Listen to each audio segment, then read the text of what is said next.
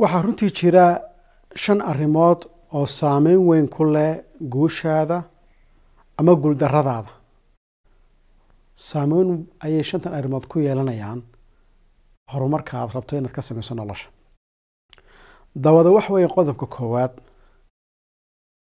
ee runtii haddii lagaa helo ood la timaado guul kuu horseedaya wax weeyaan waa inaad kow fahantaa ood awood u yeelatay inaad fahanto dareenkaaga iyo mashaacirtaada gaarka ah. Qofku makuu barto mashaacir dareenkiisa makuu barto. Ee uu ogaado isagu muxuu dareemayaa iyo waqtiyadu wax dareemayo iyo siduu u dareemayo dareenkiisa markuu qofku fahmo iyo mashaacirtiisa waxaa la yidhahdaa waxay ka qeyb qaadataa qofkaasi inuu guuleysto daawada markaa aada waxbarashada bilaawayso jaamacadeed haddii aada garanayso naftaada maxay jeceshahay? Oo markaa fiilka aada jeceshahay ee isleedahay waxbaad ka keeni kartaa. Oo waa fiil naftaadu ay ka hesho.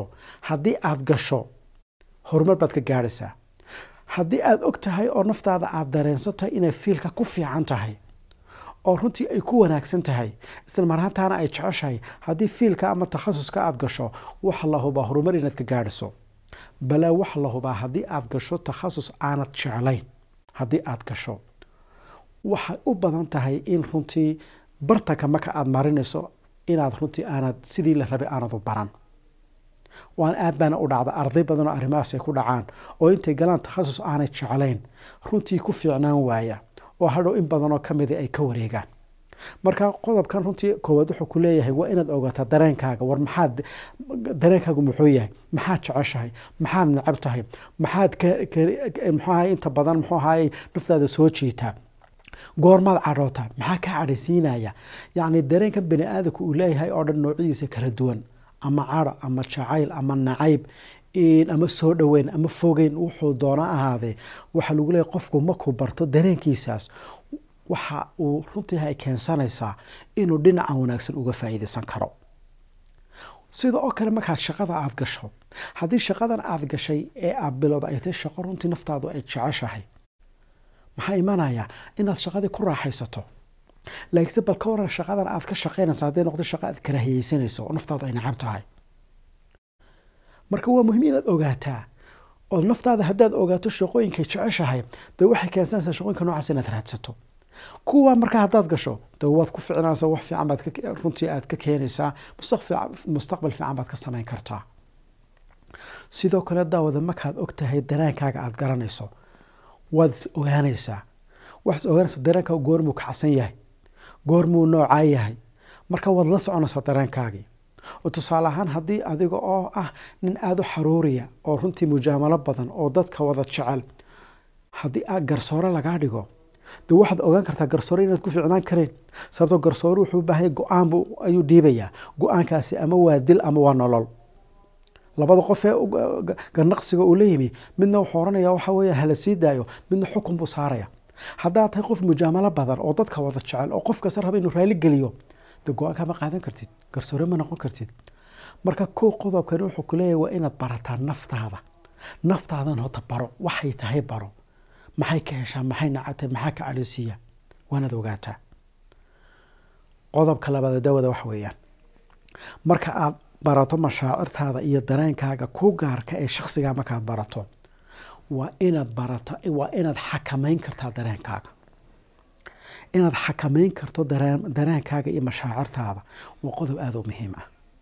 Haddii aanad xakameyn karayn nolosha kuma guulaysanaysid haddii wax yar aada ka xanaaqdo oo markiiba aada boodo oo hawlihii aada waday o dhan aada kala tuurto de waad fashilmaysaa adigoo meel fiican hawsha marinayo qof kaa cadhaysiinaya markaasa maxaa imanaysaa inaanad xakameyn karan cadhadaadii. Maxaa taa kala ka dhalanaya? Inaad fashilanto. Xaaskaagii reerkaagii baad isku yara dhacaysaan. Waad cadhoonaysaa. Cadhadaa haddaanad xakameyn kareen xaaskii baad furaysaa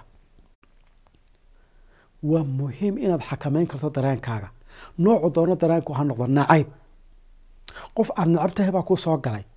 Ood waxu qabanaysaa adigoo shaqaalaha oo adeeg bulsho haya ayaad qof aad nacab tahay kuu soo galay.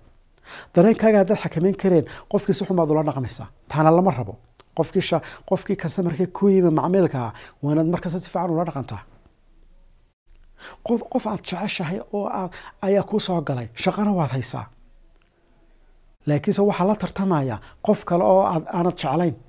Waa inaad si siman cadaalad ugu samaysaa waa inaad xakamayn kartaa dareenkaaga.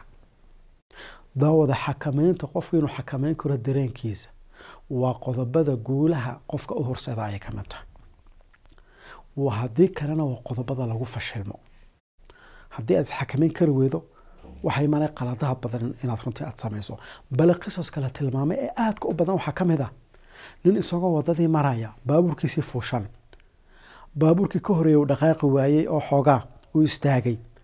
Kadibna cadhooday cadhadii ay keentay baabuurkiisi inuu ku dhufto baabuurkii ka horeeyey markuu ku dhuftayna qofkii fuushana ayuu dilay. Markii uu soo degay warka qofkii dhintayna markaasuu isgarta uu yihi waan qaldana waan cadhaysnaa. Damey kaa saaraysa waa maya. Marka inaad xakamayn karto dareemadaada oo dhan waa qodobka labaad ee lafdhabarka dawada qodobka saddexaadi waxa weeyaan. Waa in naftaada aada ku qasbi karto ku dhiiri gelin karto shaqadii lagaaga baxna inay qabato. Dadku daawada qodobkay ku kala tegeen waa qodobkan. Qaarna ay guulaysayaasha ku biireen qaarna ay ku biireen kuwa fashilmay. Waa maxay? Naftaada waa inaad ku dariqii kartaa ku qasbi kartaa in shaqadii loo baahna ay qabato haddii beri lagaa rabo ribort waa ina naftaada odhan kartaa ribortka waa qortaa. Waa qortaa marka. Shaqadii ku sugaysa naftaada waa inaad odhan kartaa nafay qabo. Marka kolba si dadku siday ugu kala duwan yihiin qofna waa qofa naftiisa ka adkayn oo iyadoo ay hogaaminayso oo isagoo beritole imtixaan galaya ayuu iska seexanaya maqaaxadu ka sheekaynaya. Qofna waa qof naftiisa gacanta ku haya oo markay howlo u taalo qabanaya oo naftiisa ku odhanaya qabo. Marka waa inaad taqaano siyaabaha loo dhiirigeliyo nafta naftaadan dhiirigelin bay kaaga baahanta si ay hawsha u qabato. Markaa naftaadii waa inaad ku dhiirigelin karto inay hawshii loo baahnaa ay qabato. Sidaa daraaddeed waxaa la idhaahdaa dadka guulaystayaashii waxay ku guulaystaan waxa weeye in naftoodii ay ka adkaadaan. Oy naftoodii runtii ku qasbaan shaqo aanay jeclayn inay qabato si ay beri u raaxaysato. Dadka fashilmeena inta badan ama dadka caajisiintii waxay naftoodii naftoodiiba ka adkaatay oo waxay ku guul daraysteen inay naftii ay ku qasbaan in shaqadii loo baahnaa ay qabato.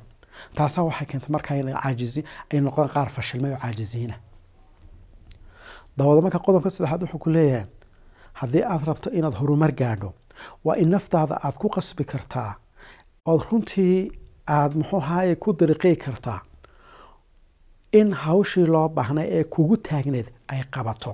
Laakiinse dhaqankaaga hadduu noqdo dib u dhigis beri baan qabanayaa saadan baan qabanayaa saakun baan qabanayaa waxaad ogaataa dariiqaas inuu yahay kii fashalka. Marka qodobkana waa muhiim inaad naftaada barto inay shaqada ay qabato. Inaad naftaada ku dhiirigeliso shaqadii loo baahnaa inay qabato. Oo sideedii ay u qabato. Qodobka afaraadawada waxa weeyaan.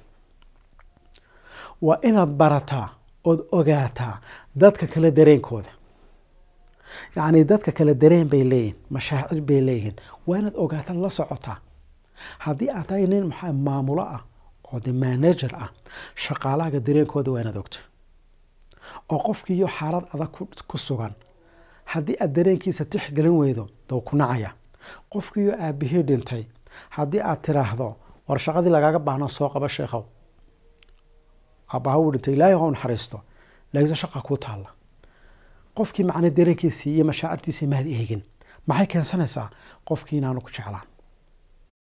Taasi waxaa ka ratimaya adiga laftigaa guushaadii ma suurtogelayso sababto shaqaalaga hadday ku nacaan oo meeshii wada shaqayn la'aan ay timaado waxba kuu suurtogeli maayaan.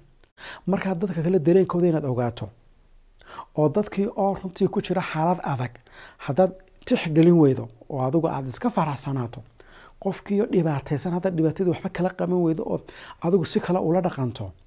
Dee bani aadamku dareen bay leeyihiin oo ku nacayaan. Marka qodobkan afaraad wuxuu ku leeyahay waa inaad barataa dareenka dadka waa inaad barataa hadduu xataa saaxiibkaa yahay hebel maxaa ka cadhaysiiya? Muxuu necab yahay? Waa inaad qofka dareenkiisii la socotaa. Xaaladihiisii gaarkaad la socotaa. Markaa taasi waxay keensanaysaa guul inaad gaadho. Oo runtii aad ka faa'iidaysato aqoonta aad u leedahay qofkasta dareenkiisa inaad ka faa'iidaysato adigu halka aad rabtay rabtay in la gaadho ama shaqaalagu ay gaadhaan aad u kaxayso qodobka ugu dambeeya daawada waxa weeyaan. Waa inaad dadka kula dhaqantaa mucaamalo wanaagsan.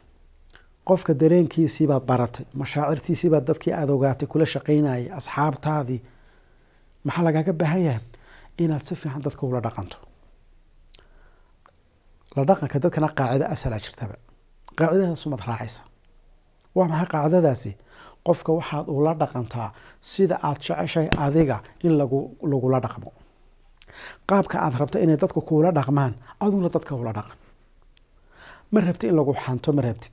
Ma rabtid in runtii muxuu ahay lagu xaqiro ma rabtid.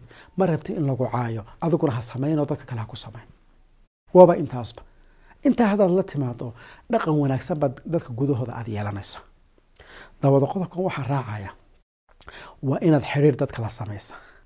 Xidhiir inaad samayso guusha qeyb weyn bay ka tahay. Oo qof kastoo markastoo xidhiirkaaga uu badan yahay oo dad badan aada xidhiir la leedahay waa markastoo fursadahaada nolosha ay badan yihiin. Adigoo iska fadhiyo qofka soo qaraacaya war hebel oo shaqaa bartaa ka bannaan. Mid kalaa ku soo qaraacaya waa meeshii halkaa ahayd fursad baa taalla meel baad tegaysaa qofaad garanaysaad arkaysaa waxbuu kuushe warbuu ku siinaya. Marka xidhiirkan aad dadka la leedahay faraha badan leh furas badan buu kuu soo jiidaya marka isku da inaad xidhiir ka badiso qof kastood baran karto baro waa muhiim. Marka aad baratana qaabka aanu sheegnay ula dhaqan. Markaad ula dhaqanto qodob kalea daawada jiro saddexaad. Oo waa maxay? Waa inaad xakamayn kartaa naftaada. Marka aad dadkaad la dhaqmayso. Xakamaynta kow waxaa ka ah meesha looga baahan yahay noo inaad tiraahdo waa inaad noo oran karto. Nin saaxiibka ayaa ku kaxeeyey. Wuxuu ku yihi waar maantayna mari muxuu ahay imtixaankii berri baynu gelaynaa. Midh akhrin mayna maanta kubaddaanu ciyaarayna. Waa inaad noo oran kartaa marka. Maya waa inaad oran kartaa sheekhow anigu kubadda ma ciyaaro imtixaankan akhrinaya. Haddii aad iska noqoto dameer dhaan raacda aada noqoto oo qof kasta aad iska raacdo oo qof kasta iska jeclaato oo qof kasta iska dabagasho khasaaraad ku dambeynaysa marka waa inaad kala ogaataa goormo ayaad noo oran kartaa qofka aada xidhiirka la leedahay ama saaxiibka ha noqdo ama qof shaqaale ha noqdo ama qof kaleba ha noqde goormaad yees oran karta waanad kala barata. Meesha noo u baahan waa inaad noo tiraahda haddaad aragto qofkani inuu kuu jiidayo wax ka soo horjeeda mustaqbalkaagii iyo dhaqankaagii iyo akhlaaqdaadii haddaad aragto inuu kuu wado waa noo tiraahda haddaad aragto wanaag iyo khayr inuu ku wadana waa yees tiraahda markaasuu xidhiirkaagu fiicnaanaya marka ogow xidhiirka waxaa u asala kow iskuda xidhiir wax alla waxaad xidhiir la samayn karto dadka. Isbarasho waa inaad samaysaa lamartuu qaabkaad ula dhaqmaysa u noqda qaabkaanu sheegnayoo sida aad dhaqantay sida aad jeceshayna kuula dhaqmaan waa ula dhaqantaa. Lambar tiri waa naftaada xakamayn kartaa. Oo wixii u baahan inaad tirada mayana waanaad oran kartaa. Wixii no u baahan waad oran kartaa